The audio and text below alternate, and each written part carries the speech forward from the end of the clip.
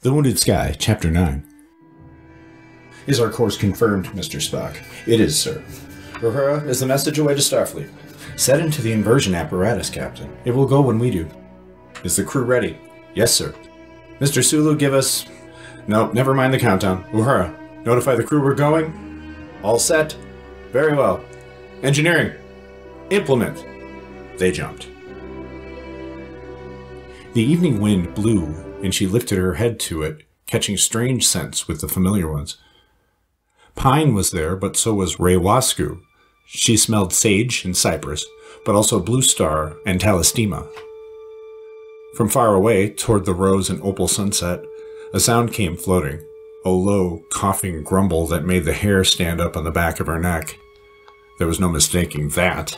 She lifted her eyes to the darkening sky and saw two white moons, one unmarred, one stained and scarred with Maria, drifting through the burning horizon. A third, tiny and hasty and rose red, leapt up from under the opposite horizon as she watched, and chased after the other two. This was Serengeti then, the fifth planet of Procyon A, where the once endangered creatures of the Terran plains roamed free and untroubled by hunters. She had never had the time to come here, though the place had been her idea of heaven when she was a little girl. Serengeti was just being founded when she was five or six, and some story her mother told her about it got mixed in with all the other stories about animals that were able to talk to each other and sometimes even to people. She decided then and there that she would be a Serengeti ranger when she grew up and go talk to the animals. What she found out as she got older was that it wasn't so much the animals that fascinated her as the talking, communicating with another kind of life, finding out what it was thinking, sharing her thoughts in turn and Starfleet was the place where they taught you to do that. She plunged into Academy, graduated, and forgot all about Serengeti, beckoned outward by the wonders and strangeness of Vulcan and Tel and the Ceeans, Orion and Auskao and the Aldebaran worlds. Now she stood in the crimson gates of the Serengeti Equatorial High Veld, looking up at Mount Meritaya in its snow-capped majesty and laughed softly, a small glad sound in the huge windy silence. This was where what she now was had begun. It was high time she acknowledged it.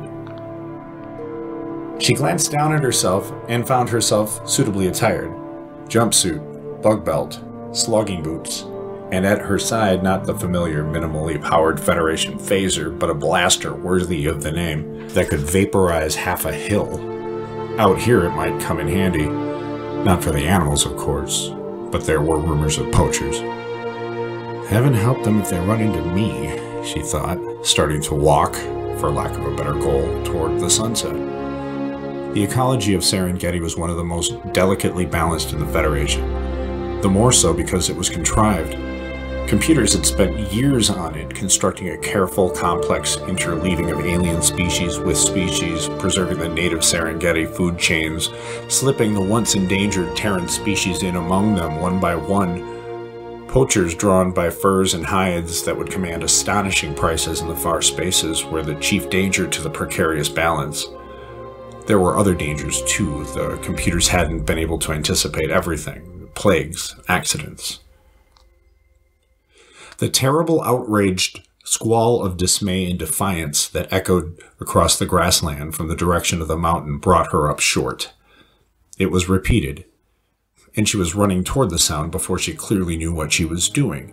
The blaster out of its sheath, its safety off, its status circuit singing the high-pitched triad that told her it was at full charge. Reflex, she thought with grim humor. But this was no rescue of a beleaguered landing party. There was no telling what awaited her in the stand of Narara trees up ahead. Leaving the tricorder back at the lodge was a dumb idea. At least I've got the blaster, though. She thought she would slow down before getting to the copse of Narara, then circle around and reconnoiter. She never had a chance. Something bigger than a lion, much bigger, erupted out of the tall grass in front of her, leaping straight at her face. Reflex saved her, whipped the blaster up into the line, and smoked the thing in mid-leap. She thought she recognized the shape before she vaporized it, but it was too late to be sure now. Whoops. For it wasn't too late. Two more huge shape attracted by the shrill of the blaster came leaping along after the first. Land sharks, some part of her observed with great calm. Other parts of her frantic, concentrated on blasting them before they made dinner of her. She found herself looking right down the roaring throat of the second one, past all the rows of teeth and into the reeking gullet half a meter away before the blast effect engulfed it and struck her to the ground in an explosion of scorching, stinking gas. She scrambled up and ran again, heading for the copse of Nurara at full speed. Stealth was no use now. The terrible, raging beast cry was closer, louder, and more urgent. Another land shark came plunging out of the trees at her. She had more of a view of it this time in the uncertain twilight, and her blaster lit it more brightly still as it killed. The four meter long body, the vivid vermilion and white fur, the eight legs, the blank, blind white eyes of a heat seeker. She dodged around the hot smoke that was all the blaster left of it and ran into the copse. More of the land sharks saw her, but not before she saw what they were after. There was a tar pit at the heart of the strand of Nurara, slicked over with water from an earlier rainfall. Trapped in it, one terribly torn flank turned toward the shore was the biggest elephant she had ever seen, the only one she had ever seen in the flesh anyway. It saw her, slashed sidewise with its trunks at one of the land sharks that was trying to get at it, and then raised its trunk and trumpeted in savage salute. She had her work cut out for her. There were too many land sharks, and they were fast. The only chance she had was to get her back up against something so that she couldn't be attacked from behind. Reflex took over for her again. She blasted a land shark coming at her from one side, rolled, twisted, and came up with her back to the tar pit and the screaming bull and the hunting pack's tactics changed. They gathered together and began attacking cunningly from one side, then another, testing the new alliance. She heard the bull squealing in rage, striking a bright patched body thumped to the grass by her feet, and she smoked one of its packmates. The land sharks were snarling now. The sound first surprised and frightened, then heartened her. They hunted silence when they thought they had the advantage. Two more leaped at her from opposite sides. She blasted one of them and was about to do the same to the other, but never had the chance. A huge trunk plucked the land shark out of the air in mid leap and smashed it with a thick, wet sound to the earth. Eight left now. No, seven. But that was still too many. The chord her blaster sang had dropped four tones in pitch. It was losing power, and a crisis light on one side told her she'd been stuck with a defective charge pack. If the ship didn't send her some help pretty soon, she was going to be dinner despite all her intention otherwise and there was the shimmer of transporter effect a hundred yards away. Ears among the watchers twitched at the soft singing whine. Several of them turned to leap towards it. No, she screamed, and the suddenness of the sound confused two of them enough for her to smoke one and burn the leg off of another. It screamed too and went hobbling off into the tall grass at terrible speed. She had bad thoughts about wounded beasts as the light of the transporter faded out. Oh, let them be armed. Look out, she cried loudly as she could. Look out, they're coming! And then two more of them were coming for her, and there was no more time for shouting.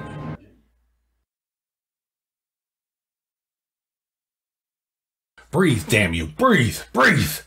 It was his worst nightmare come true. He damned for the thousandth time the idiot courage that led this man throw himself among wild beasts and into blaster crossfire for his crew's sake. Luckily, it was just a graze he'd taken, but things were bad enough. His hand on his chest found no respiration, no heartbeat. He peeled back an eyelid, found the pupil reactive even in this fitful light. It contracted immediately. Thank God. Still no pulse at the carotid, though. No problem. He felt the sternum, made cartilaginous xiphoid process at the sternum's end so as not to bruise the liver or spring the ribs loose, then let him have it. The precordial thump on the sternum that starts the heart going six times out of ten. Wham!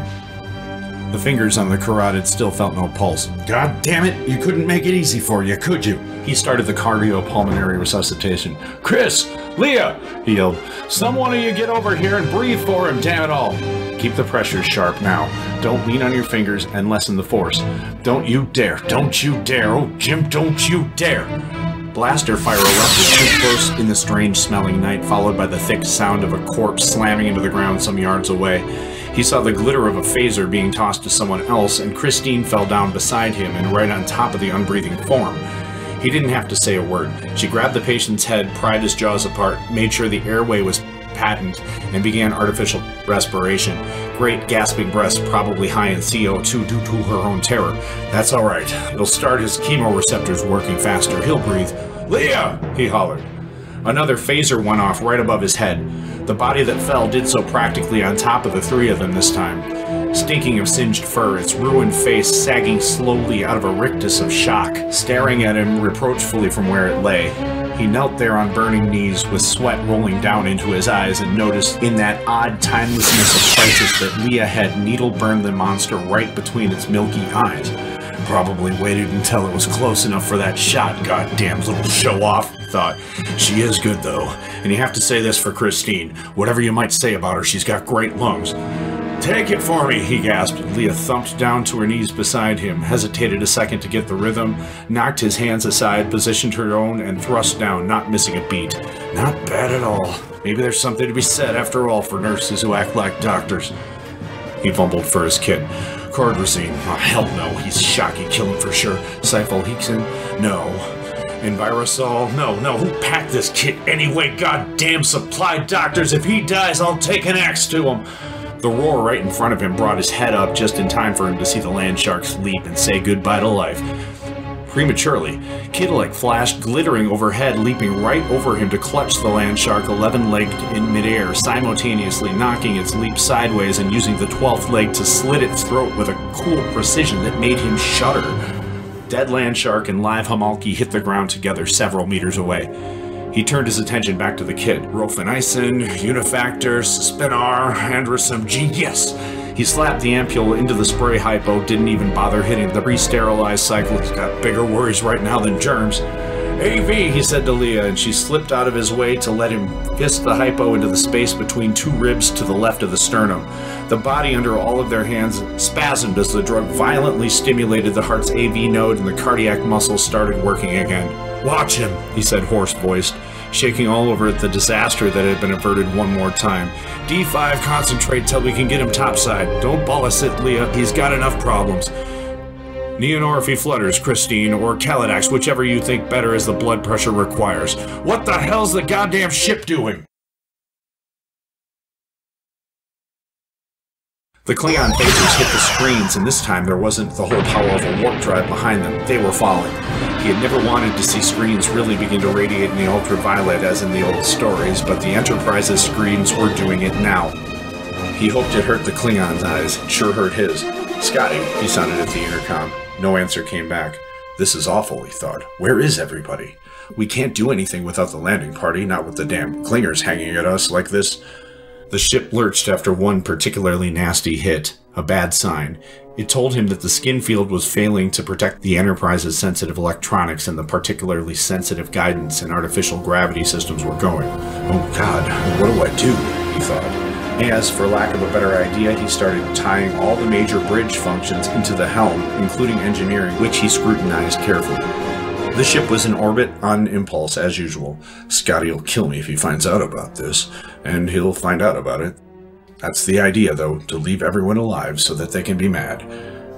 The last time they had supercharged the screens from the warp engines, the Enterprise had escaped being blown to plasma only because she was traveling so close to c already.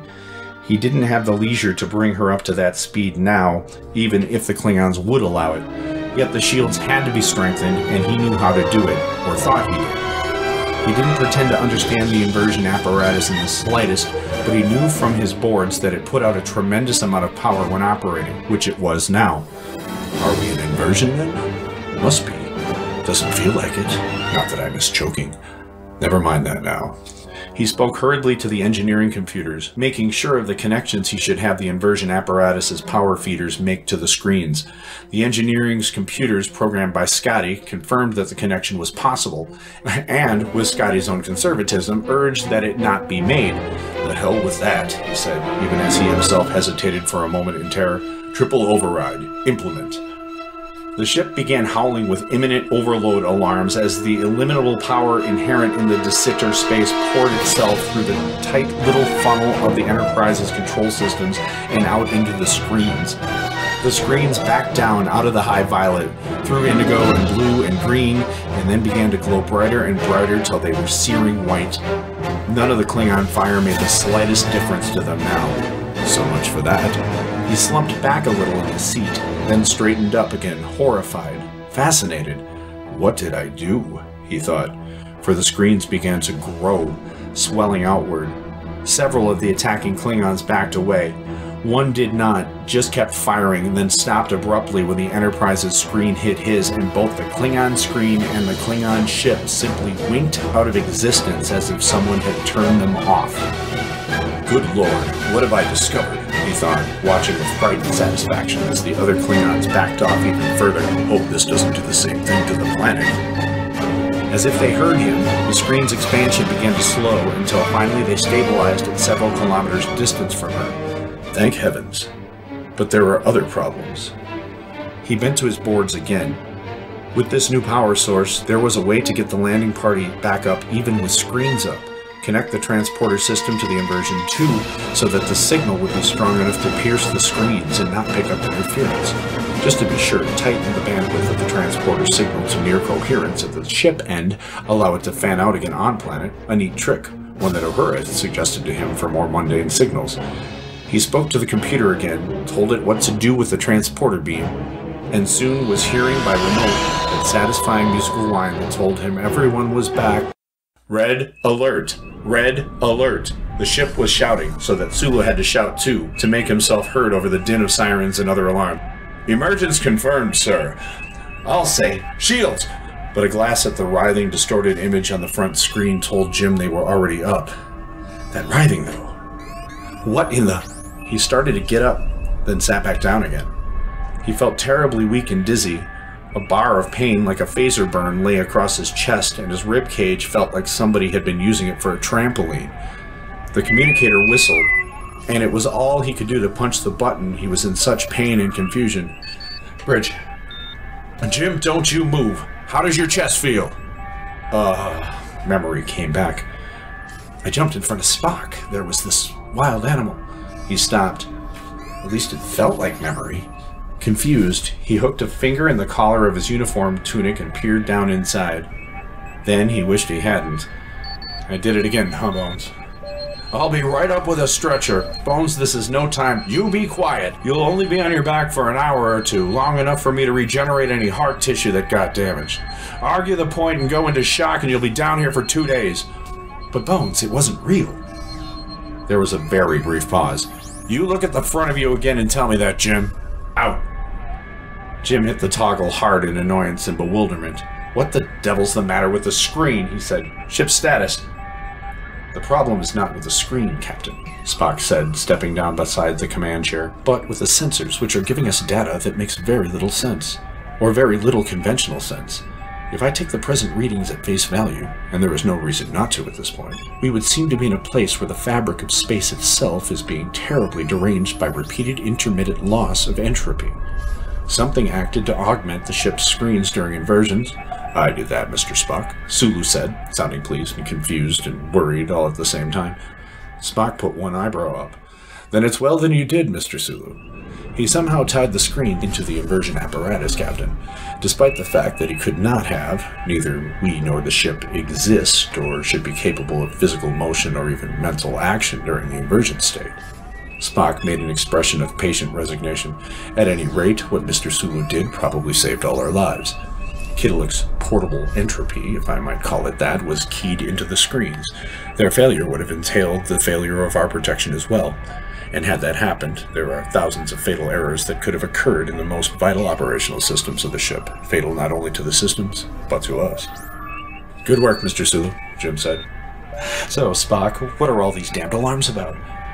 Well, Captain, as I said, the conditions the sensors are picking up from outside are mostly unlikely and occasionally impossible. There's a great deal of radiation of all kinds out there, including Hawking radiation, a very distressing finding, for Hawking radiation is typical of the close neighborhood of black holes. Yet the sensors also insist that there are no black holes hereabouts, or not for long at any rate. Spock actually shrugged. The readouts are most illogical. Mass and energy seem to be coming and going at unpredictable intervals. Stars appear and vanish, or go nova and then reappear unchanged in a complete defiance of conservation of energy. Not surprising, the laws of thermodynamics all require the flow of time to function. Jim stared at the screen. Someone had turned it off. Give me a visual. I would not recommend it, sir. Why not? Medical reasons. Jim opened his mouth to get tough with Spock, then felt the cough weighting down in the bottom of his chest. If he tried to get loud now, it would completely ruin the effect. Precisely, Captain, Spock said. Sir, you know I am the only member of the crew who dares to be on the observation deck in other space. The view outside the Enterprise right now is one I will have to look at in the pursuit of my duties, but I will not inflict it upon myself more than necessary. Vulcans are prone to a number of behaviors the other humanities find difficult to fathom, but masochism is not one of them. The doors to the bridge hissed open then. Jim had just time enough to glance around the bridge and see how uneasy everyone looked before McCoy came in with a tall, handsome, blond bearded man pushing a floater in front of them. I'll want to report in a couple of hours when McCoy's done, Jim said. You, Scotty, and K't'lk, whoever else can cast light on this mess, down in sickbay. Shut up, Jim. Don, tilt that thing up, will you? About 80 degrees. Good. Step into here, Jim. All right, Don. Level him out. Come on, Captain Hero. Take the con, Spock, Jim said, and keep her safe. The doors closed on. Captain's log supplemental. Now that was a chapter. I was disappointed before that I didn't get to be the one to read the space battle that Maggie did such a good job on, but at least I got to do this part.